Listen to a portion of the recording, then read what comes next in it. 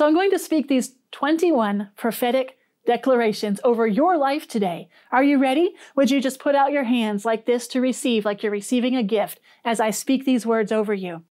In the name of Jesus, I declare and confess over you today that the wealth of the nations comes to you today. That's from Isaiah chapter 60. I declare that you receive your hundredfold and thousandfold harvest today.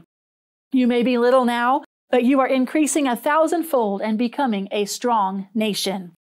The gold of heaven manifests itself in your life and in the lives of your children today. You give and it comes back to you, good measure, pressed down, shaken together, and running over. Do men give into your bosom? You receive and inherit and take the physical land the Lord has divinely ordained for you to have from before the foundation of the world. You receive and take your divinely created paid for house for as it is in heaven, where you have a free, paid for mansion by the blood and the grace of Jesus, so it is on earth and in your life. You are the righteousness of God in Christ, and in your house there is much treasure.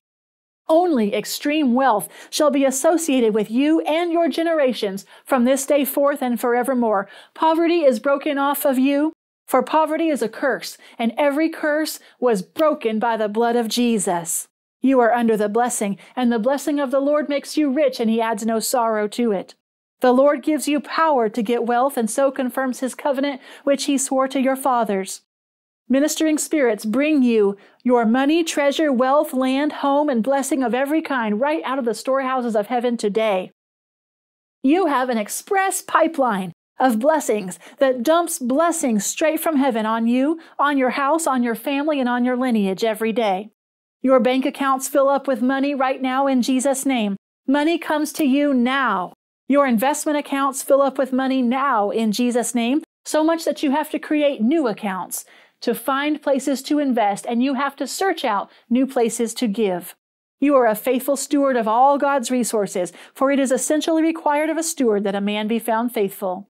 You have so much money that you have to look for places to save it, give it away, and invest it for the kingdom. You lend to many nations, but you do not borrow. You keep out of debt, and you owe no man anything except to love him. Everything you put your hand to is blessed. Your investments skyrocket in value, for you only invest with the wisdom from the Lord, and everything you put your hand to is blessed.